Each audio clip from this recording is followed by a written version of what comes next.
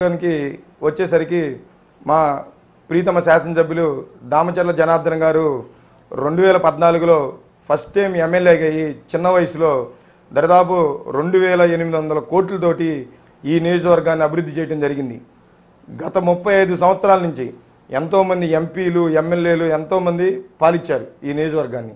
వాళ్ళు కనీసం ఒక ముప్పై కోట్లు ఇరవై కోట్లు యాభై కోట్లు తెస్తే అదొక పెద్ద విచిత్రంగా చెప్పుకునేవాళ్ళు.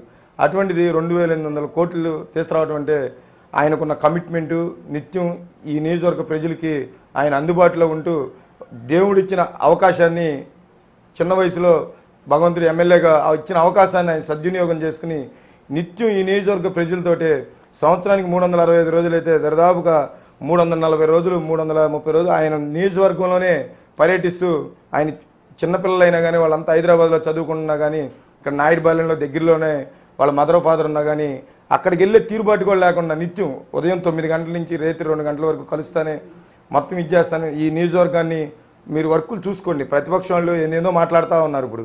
కనీసం ఒకసారి చూసుకోండి. ఈ రెండు వేల ఎనిమిది వందల కోట్లకి కొత్తపట్నం ఫ్లైఓవర్స్ తీసుకోండి.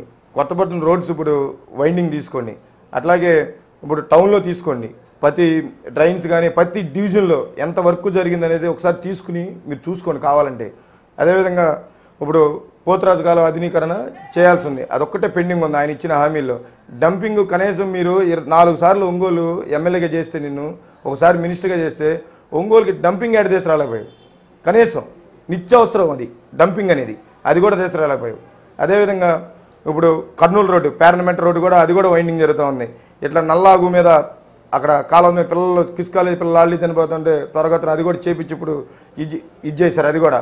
బ్రిడ్జి కనీసం ఒంగోలులో ఇప్పుడు పార్కులు ఎన్ని ఉన్నాయి చూడండి. అంతకుముందు కనీసం ఒంగోలులో ఆట విడుపుగా ఒక ఫ్యామిలీ ఊరకు అట్ట వెళ్ళాలంటే ఎక్కడికి వెళ్ళాలి దిక్కుదోసిన పరిస్థితి. ఇవాళ కనీసం పది పార్కులు ఉన్నాయి ఒంగోలులో.